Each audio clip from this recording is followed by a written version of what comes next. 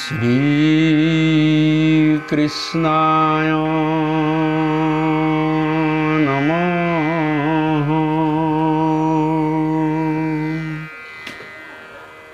कृष्णाय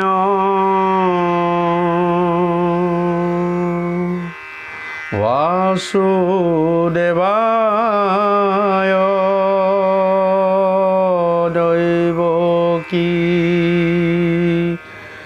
নন্দ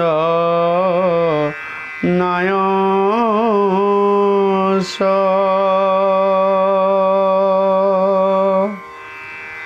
নন্দ গোপ কুমারায়।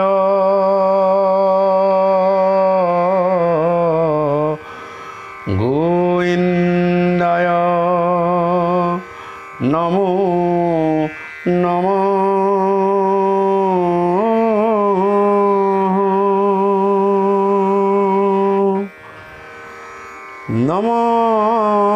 পঙ্কজ নাভায়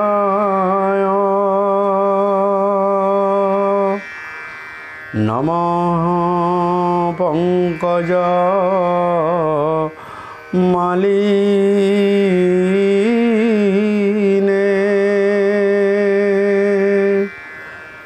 নম পঙ্কজ নেত্রায়। नमस्ते पङ्कजृङ्घाय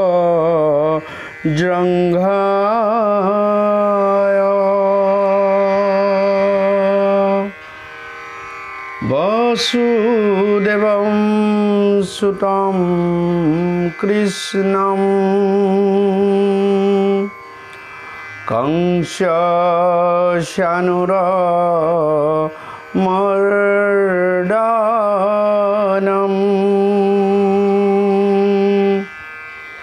दैवकी हृदयानन्दम्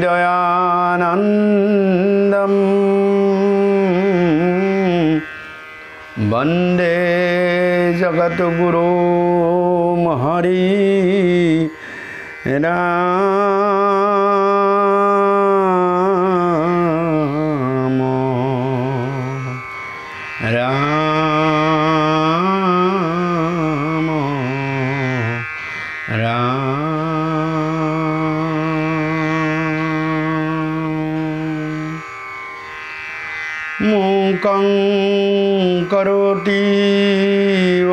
विशालं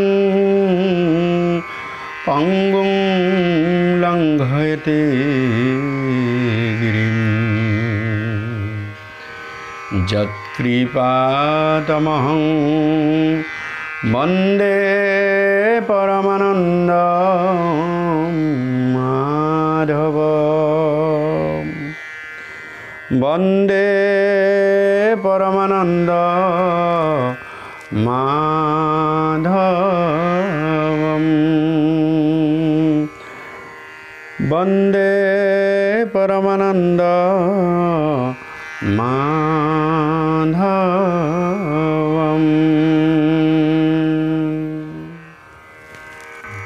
হে জয় হরি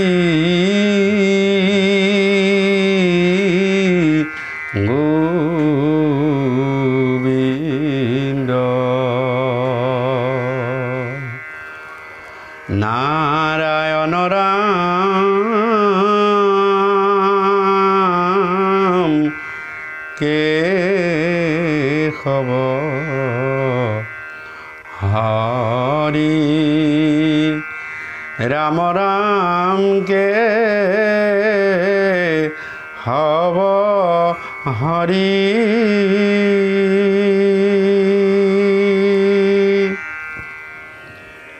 হে রাম প্রথমে প্রণাম ব্রহ্ম রূপী সনাতন।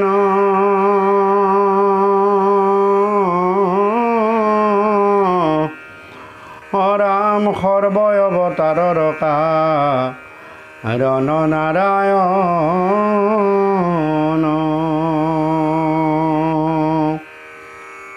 অৰাম ৰাম তজু নাভি কমলত। ব্ৰহ্ম ভৈলা জাত। যুগে যুগে অৱতাৰ ধৰায় সংখ্যাত মৎস্যৰূপে অৱতাৰ ভৈলা প্ৰথমত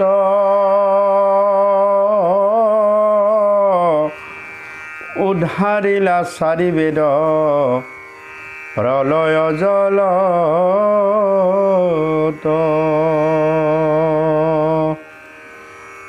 অৰাম সত্যব্ৰত ৰাজা কদে খাইলা নিজ মায়া।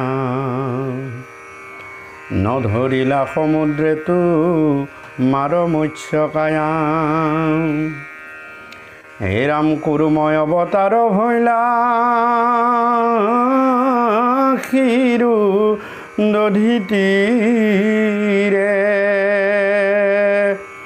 লক্ষ্য বহৰৰ পন্থ জুৰিলা হৰিৰে।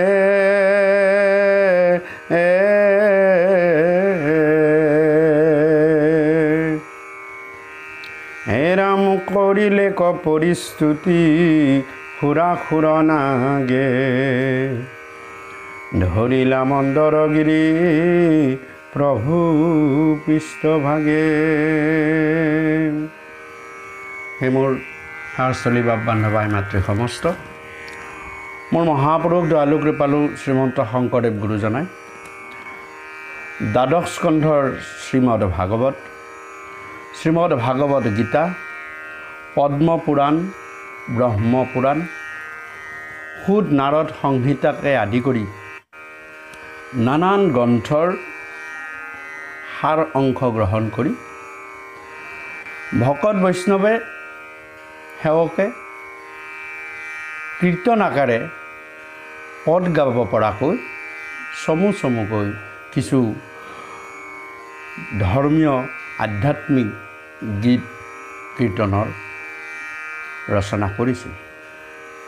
মহাপুৰুষ গুৰুজনাই জীৱনৰ বিভিন্ন কালছোৱাত বিভিন্ন ঠাইত ধৰ্ম প্ৰচাৰৰ অৰ্থে বিভিন্ন ধৰণৰ ৰাজনৈতিক পৰিৱেশিক কাৰণৰ অৰ্থে বিভিন্ন ঠাইত ঘূৰি ফুৰিবলগীয়া হোৱাত সেই ৰচনাসমূহ অসমৰ বিভিন্ন ঠাইত সিঁচৰতি হৈ আছিল। আৰু মহাপুৰুষ গুৰুজনাই তেৰাৰ প্ৰপন্ন শিষ্য বঢ়াৰপু গুৰু মাধৱদেৱক কৈছিল সেই বঢ়াৰপু আমি ৰচনা কৰা সেই কীৰ্তনসমূহ তুমি আনি একত্ৰে সংগ্ৰহ কৰিবা আৰু কৰি কীৰ্তন পুথি নামৰ এভাগী পুথি তুমি প্ৰণয়ন কৰি উলিয়াবা। আৰু মহাপুৰুষ গুৰু মাধৱদেৱেও এই কাৰ্য কৰিবলৈ তেৰাৰ ভাগিনীক ৰামচৰণ ঠাকুৰক এই দায়িত্ব দিছিলে। ৰামচৰণ ঠাকুৰে মহাপুৰুষ গুৰু মাধৱদেৱৰ পৰা সেই আজ্ঞা লৈ অসমৰ বিভিন্ন ঠাইত প্ৰায় এবছৰ কাল ঘূৰি ফুৰি মহাপুৰুষ গুৰুজনাৰ সেই কীৰ্তনভাগী সেই পদবিলাক সেই অধ্যায়বিলাক সেই ঘোষাবিলাক সেই একত্ৰিত কৰি মহাপুৰুষ গুৰু মাধৱদেৱৰ হাতত অৰ্পণ কৰিছিল। আৰু মহাপুৰুষ গুৰু মাধৱদেৱে মহাপুৰুষ গুৰুজনাৰ এই ৰচনাসমূহ সময়ৰ ওপৰত বা ৰচনাকালৰ ওপৰত ভিত্তি নকৰি আধ্যাত্মিক তত্ত্ব সম্বলিতভাৱে আধ্যাত্মিক গুৰুত্ব আৰু এটা আধ্যাত্মিক ক্ৰমত তেওঁ কীৰ্তন পুথিখন প্ৰণয়ন কৰি উলিয়াইছিল।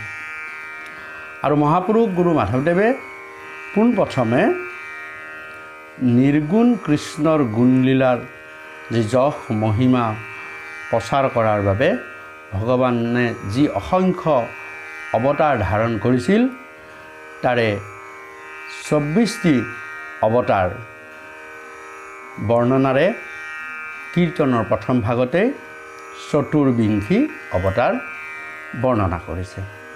আৰু এই চতুৰ্বিংশী বিংশতি অৱতাৰৰ আজি আমি পোন প্ৰথম কীৰ্তন ভাগি আপোনাসৱৰ ওচৰত সানুনয়ে পাঠ কৰাৰ লগতে আমি ইয়াৰ যি তাত্ত্বিক দিশ সেইটো আমি আলোচনা কৰিবলৈ আগবাঢ়িছোঁ।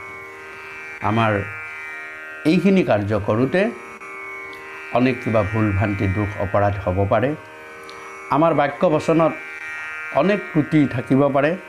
গুৰুজনাৰ সেই অনুপম ৰচনা আমি যিমান পাৰোঁ সহজ সৰল ভাৱত আপোনাসৱৰ ওচৰলৈ ক্ৰমাগতভাৱে আগবঢ়াই নিবলৈ চেষ্টা কৰিম আৰু আমাৰ এই শতকোটি অপৰাধ আপোনাসৱ মৰিখন কৰিব। মহাপুৰুষ গুৰুজনাই কীৰ্তনৰ প্ৰথম ভাগিতেই নিৰাকাৰ যি ব্ৰহ্ম ৰূপ আছে ব্ৰহ্ম আছে নিৰাকাৰ যি ব্ৰহ্ম আছে সেই নিৰাকাৰ ব্ৰহ্ম ৰূপ দিছে। আৰু ৰূপ দি সেই ৰূপ কৈছে যে সত্য সনাতন স্বৰূপ। এই যি পৰম সত্য সেই পৰম সত্যই হৈছে ধৰ্ম। সেইকাৰণে মহাভাৰততো পোনপ্ৰথমে কৈছে যে সত্যং পৰম ধীমিহি অৰ্থাৎ সত্যই পৰম ধৰ্ম। এই পৰম সত্যই হৈছে পৰম জ্ঞান। আৰু এই পৰম সত্যই হৈছে কাৰ্য কাৰণৰ মূল নাৰায়ণ। এই কথা মহাপুৰুষ গুৰুজনাই পোন প্ৰথমতে প্ৰথম দুষাৰীতেই উল্লেখ কৰিছে। আৰু এই নাৰায়ণৰ নাভি কমলৰ পৰাই তজু নাভি কমলত ব্ৰহ্মা ভৈলাজাত ভ এই পৰম সত্য পৰম ঈশ্বৰ পৰম স্থিৰ পৰম সত্য সনাতন ঈশ্বৰ পুৰুষৰ নাভি কমলৰ পৰাই ব্ৰহ্মাৰ সৃষ্টি হৈছিল ব্ৰহ্মা জাত হৈছিল। আৰু ব্ৰহ্মা জাত হৈ কি কৰিছিল? এই সৃষ্টি ভগৱানৰ আদেশত তেওঁ সৃষ্টি কাৰ্য কৰি কৰিছিল। ব্ৰহ্মাই কি কৰিছিল? যে ভগৱানক কৈছিল হে প্ৰভু মই কি সৃষ্টি কৰিম আৰু কেনেদৰে সৃষ্টি কৰিম? এই কথা ভগৱানক যেতিয়া কৈছিল ভগৱানে তেতিয়া ব্ৰহ্মাক এই সৃষ্টি কাৰ্য কৰিবৰ কাৰণে তেওঁ মৎস্য ৰূপ ধাৰণ কৰিছিল। আৰু মৎস্য ৰূপ ধাৰণ কৰি সম্পূৰ্ণ জলৰ মাজত ভৈলা প্ৰথমত উধাৰিলা চাৰিভেদ প্ৰলয় জলত ইয়াতে মৎস্য অৱতাৰৰ দুটা কাৰণ উল্লেখ কৰিছে। প্ৰথমটো কাৰণ হ'ল চাৰিবেদ উদ্ধাৰ কৰিছিল জলৰ মাজৰ পৰা। অৰ্থাৎ উদ্ধাৰিলা চাৰিবেদ প্ৰলয় জলত প্ৰলয় জলৰ মাজৰ পৰা চাৰিবেদ ব্ৰহ্মা ব্ৰহ্মাক ভগৱন্ত পুৰুষে মৎস্য ৰূপ লৈ উদ্ধাৰ কৰি আনি দিছিল। আৰু সেই চাৰি বেদতেই কি আছিল যে সৃষ্টিৰ যি নিয়ম কেনেদৰে সৃষ্টিখন কৰিব লাগিব এই সৃষ্টিৰ নিয়মসমূহ এই চাৰি বেদত সন্নিৱিষ্ট হৈ আছিল। আৰু এই আন এটা অৱতাৰ ইয়াত কৈছে যে সত্যব্ৰত ৰাজা কদে খাইলা নিজ মায়া নধৰিলা সমুদ্ৰে তোমাৰ মৎস্যকায়া সেই মৎস্য অৱতাৰ আন এটা হৈছিল সত্যব্ৰত ৰজাৰ ক্ষেত্ৰত। ভগৱানে মায়াৰ প্ৰলয় প্ৰদৰ্শন কৰি সত্যব্ৰত ৰাজা প্ৰলয় জলত নিজে মৎস্য ৰূপ লৈ ঘূৰাই ফুৰাইছিল। যে ভাগৱতত এই কথা আছে যে ভগৱানে পুঠি মাছ ৰূপ লৈ চাৰিবেদ উদ্ধাৰ কৰি আনি ব্ৰহ্মাক হাতত দিছিল। অৰ্থাৎ চাৰিবেদ উদ্ধাৰ কৰা ভগৱন্তৰ সেই ৰূপটো হৈছে পুঠি মাছৰ আনহাতে যি মাছৰ ৰূপ লৈ সত্যব্ৰত ৰজাক মায়া প্ৰলয়ত মাজত ঘূৰাই ফুৰাইছিল আৰু সেই মাছটোক সাফৰি মাছ বুলি কৈছে।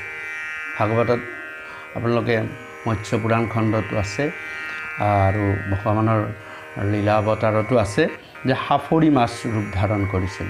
আৰু এইদৰে সত্যব্ৰত ৰজাক প্ৰলয় জলত ভগৱন্ত পুৰুষে মৎস্যৰূপ প্ৰদৰ্শন কৰাইছিল। তাৰ পৰা যে সমুদ্ৰ মন্থন কৰিছিল দেৱ দেৱতা আৰু দৈত্যসকলে আৰু তেতিয়া ভগৱানৰ নিৰ্দেশত অমৃত তত্ত্ব লাভৰ বাবে ক্ষীৰসাগৰত মন্দৰগিৰিক মথনি হিচাপে ব্যৱহাৰ কৰি অমৃত মন্থন কৰিছিল দেৱতা দৈত্যসকলে। আৰু সাগৰৰ তলিত মন্দৰগিৰি বুৰ যাওঁ যাওঁ অৱস্থাত যেতিয়া ভগৱানে কশ্যপ অৰ্থাৎ কাছৰ ৰূপ লৈ সেই মন্দৰগিৰিৰ তুলি ধৰিছিল। আৰু তেতিয়াহে বাসুকী নাগক ৰচি কৰি দেৱতা আৰু দৈত্যসকলে ক্ষীৰসাগৰ মন্থন কৰিব পাৰে ভগৱন্ত পুৰুষে সপ্ত পাতালৰ ৰসাতলত বুৰ গৈ থকা এই পৃথিৱীক বৰাহ ৰূপে উদ্ধাৰ কৰি আনিছিল। আৰু এই বৰাহ ভগৱানে পৃথিৱীক অৰ্থাৎ ভূমিভাগক নিজৰ দন্ত অগ্ৰত তুলি লৈ চাৰিওফালে পানী থকা অৱস্থাত আধাৰ শক্তি দি ভগৱন্ত পুৰুষে এই ধৰাক এই পৃথিৱীক ভূমিভাগত স্থাপন কৰিছিল। ইয়াতে দিব্যযজ্ঞ বৰাহস্বৰূপ হৈলা তুমি। দিব্য শব্দটোৰ অৰ্থ হৈছে ধুনীয়া সুন্দৰ সৌন্দৰ্য। আৰু যজ্ঞ বৰাহ যজ্ঞ দিব্য যজ্ঞ বৰাহ বুলি কৈছে। যজ্ঞ যজ্ঞ মানে হৈছে য'ত জ্ঞানৰ উৎপত্তি হয়।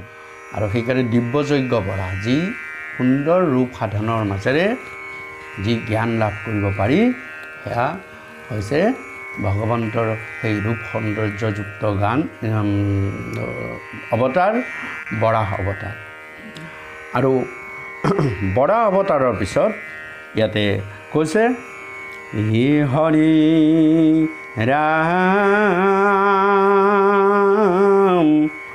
ৰাম তোমাক কৰিলে যুদ্ধ হিৰণ্যাক্ষবীৰী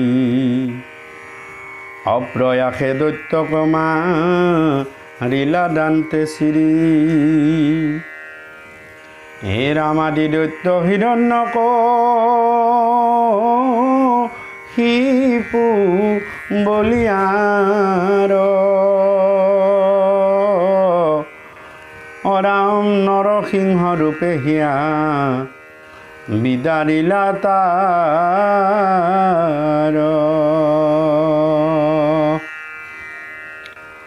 কৰিলা নিৰ্ভয় পাইলা তিদশে উল্লাস ভক্ত প্ৰহ্লাদক প্ৰভু কৰিলা আশ্বাস। বামন স্বৰূপে অদি তীৰ বাক্য পালি। ইন্দ্ৰ কথা পিলা চলে বুলি কনি কালি।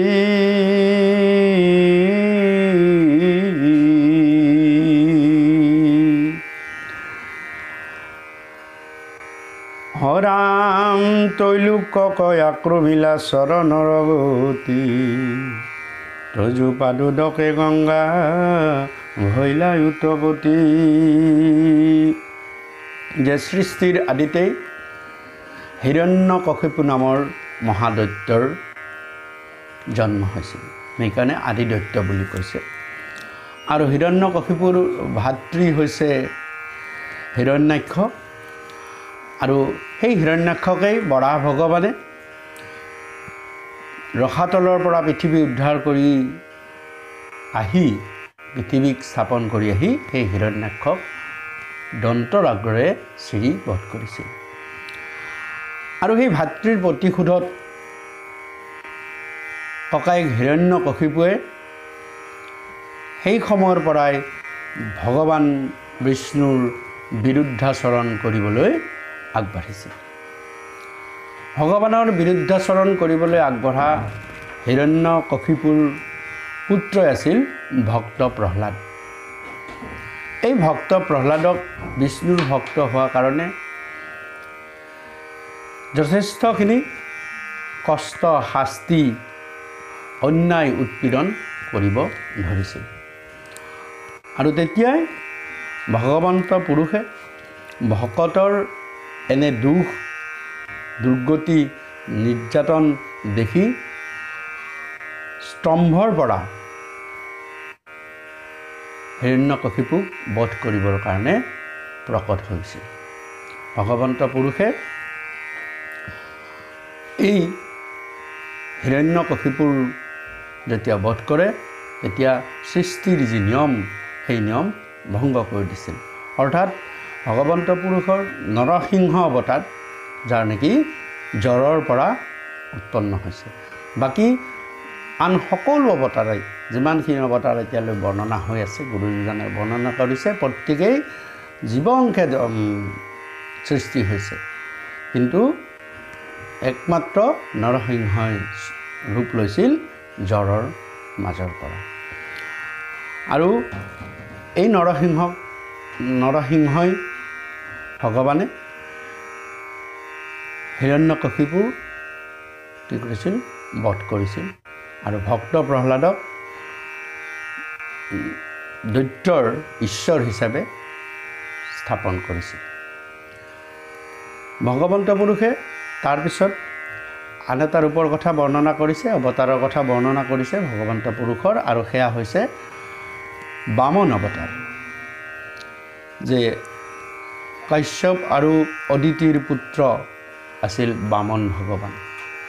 কাশ্যপ আৰু অদিতিৰ পুত্ৰ দেৱতাসকলৰ যেতিয়া বলি বলিদত্তই স্বৰ্গাচ্যুত কৰিছিল আৰু তেতিয়া মাতৃ অদিতি, দেৱমাতৃ অদিতি, অদিতিয়ে যে ভগৱন্ত ঈশ্বৰক ধ্যান কৰিছিল। বহু কষ্ট কৰি ব্ৰত কৰিছিল আৰু ব্ৰত পালন কৰাৰ পিছত কাশ্যপৰ বীৰ্যত অদিতিৰ গৰ্ভত আহি ভগৱন্ত পুৰুষে বামন অৱতাৰ হিচাপে জন্মগ্ৰহণ কৰিছিল। বামন অৱতাৰৰ উদ্দেশ্য আছিল যে বলিক স্বৰ্গৰ পৰা ক্ষমতাচ্যুত কৰিব লাগে আৰু ইন্দ্ৰক সিংহাসন দিব লাগে। বলিৰ এটা ডাঙৰ অহংকাৰ আছিল যে বলিৰ মই আটাইতকৈ পৃথিৱীৰ শ্ৰেষ্ঠ দানী এই কথাৰে বলি অহংভাৱত মত্ত হৈ আছিল। আৰু এই অহংভাৱেই শেষত গৈ বলিৰ স্খলনৰ প্ৰধান কাৰণ হৈ পৰিলে। গতিকে আমাৰ এটা প্ৰবচনো আছে যে অহংকাৰেই পতনৰ মূল। গতিকে ইয়াৰ সৰ্বোৎকৃষ্ট উদাহৰণ হৈছে বলিৰাজ। আৰু বলিয়ে ভগৱন্তৰ ব্ৰাহ্মণৰ আগমনৰ কথা জানিছিল জানি তেওঁ কৈছিল যে আপুনি মই সত্য কৰি বচন কৈছোঁ আপুনি যি বিচাৰে মই তাকেই দিম। তেতিয়া ভগৱন্ত পুৰুষে মাত্ৰ তিনি পদ ভূমিহে বিচাৰিছিলে সত্য বুলিয়ে ভগৱানক বামন হিচাপে ভাবিছিল ভাবিছিল যে তিনি খোজ ভূমিতনো মোৰ কিমান যাব। গতিকে পাৰিলে আৰু অলপ বেছি খোজক। তিনিখন গাঁও খোজক তিনিখন ৰাজ্য খোজক তিনিখন দেশ খোজক মই দি দিম। কিন্তু ভগৱানে কৈছিলে মোক তিনি পদ ভূমিহে লাগে। আৰু তেতিয়া বলিয়ে গুৰুৰ বাধাকো নেমানি। কি কৰিছিল? ভগৱন্তক তিনিপদ ভূমি দিবলৈ প্ৰস্তুত হৈছিল। বলি চলনত আপোনালোকে এই কথা বিস্তাৰভাৱে পাব। ভাগৱততো আছে আৰু কীৰ্তনতো বলি চলনত কিছুভাৱে আলোচনা আছে। আৰু তেতিয়া ভগৱন্ত পুৰুষে বলিৰ সেই সত্যবচন মানি বলিয়ে যেতিয়া ভগৱন্তৰ শ্ৰীচৰণত অঞ্জলি দান কৰিলে আৰু দিম বুলি বচন দিলে তেতিয়া ভগৱন্তই নিজৰ কাই ক্ৰমে ক্ৰমে ক্ৰমে ডাঙৰ কৰি যাবলৈ ধৰিলে। তেওঁ এখন ভৰিৰে সপ্ত পাতাল অধিকাৰ কৰি ল'লে। আৰু আন এখন ভৰিলে ঊৰ্ধগতি কৰি গৈ গৈ গৈ একেবাৰে ব্ৰহ্মলোক পৰ্যন্ত আদায় কৰি ল'লে। তিনি নম্বৰ যি পদ সেই পদ দিবলৈ আৰু জেগাই নাথাকিল। তেতিয়া ভগৱন্তই বলিৰ ওপৰত বহুত খং কৰিছিলে। আৰু ভগৱন্ত পুৰুষৰ যি ঊৰ্ধ ফালৰ ফাললৈ যি পদ গ'ল সেই পদ গৈ গৈ গৈ ব্ৰহ্মাণ্ড পালেগৈ ব্ৰহ্মলোকত পালেগৈ। ব্ৰহ্মাণ্ডত ভগৱানৰ নখ লাগি ব্ৰহ্মাণ্ড ফুটি গ'ল। আৰু সেই ব্ৰহ্মাণ্ডৰ পৰাই ভগৱানৰ পদৰ প্ৰসালন কৰি ব্ৰহ্মাণ্ডৰ পৰা যি পাদুদক বৈ আহিল সেয়া হৈছে পবিত্ৰ গংগা দেৱী। আৰু সেই পবিত্ৰ গংগা দেৱী আহি স্বৰ্গত স্থাপন হ'ল। তেতিয়ালৈ গংগা দেৱী মৰ্তলৈ অহা নাই। মৰ্তলৈ কোনে আনিছে? আপোনালোকে পাব। ভাগৱতত এই কথা আছে। ভগীৰথে আনিছে। আৰু ইয়াতে কৈছে যে ত্ৰৈলোক্যক আক্ৰমিলে চৰণৰ গতি। ত্ৰৈলোক্য তিনি ত্ৰৈলোক্য ভগৱন্তৰ সেই এক চৰণৰ পাৱে আক্ৰমণ কৰিলে। আৰু তজু পাদুদকে গংগা মহিলা উত পতি। গতিকে গংগাৰ ভগৱন্তৰ শ্ৰীচৰণৰ পৰা গংগাৰ উৎপত্তি হ'ল আৰু আহি স্বৰ্গত এই গংগা ৰৈ গ'ল। এই কথাৰে কীৰ্তনৰ প্ৰথম ঘোষাটিৰ প্ৰথম অংশটি সামৰণি কৰিছে হে শাৰস্থলী বা বান্ধৱ মাতৃ সমস্ত। আমাৰ এইখিনি পাঠ বিশ্লেষণ কৰোঁতে ক'ৰবাত ভুল ভ্ৰান্তি দোষ অপৰাধ যদি হৈছে সেইখিনি অপৰাধ আপুনি সবে নিজ গুণে মৰীক্ষণ কৰিব আৰু ধাৰাবাহিকভাৱে আমাৰ কীৰ্তন পাঠৰ এই অনুষ্ঠান আপোনালোকে শ্ৰৱণানন্দে আমাক কৃতাৰ্থ কৰিব বুলি সেৱা জনাই আজিৰ এই অনুষ্ঠান ইমানতেই সামৰণি মাৰিছোঁ। কৃষ্ণ কৃষ্ণ কৃষ্ণ।